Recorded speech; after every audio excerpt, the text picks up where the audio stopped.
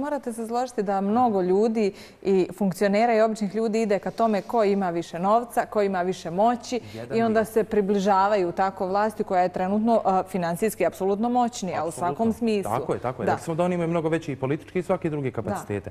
Ali evo, ovaj, ovaj gospodin ovdje, mlad čovjek, on može privući glasača SNZ da kaže stani, evo ja ću donijeti isto to, nosit ću nacionalni osjećaj. Ja vjerujem da on voli Republiku Srpsku isto koliko i ja, isto koliko i Vladimir, isto koliko svi mi na kraju krajeva, isto koji političari, pa možda isto koji Milorad Dodik, možda isto koji Mirko Šarović, sad da ne ulazimo u to.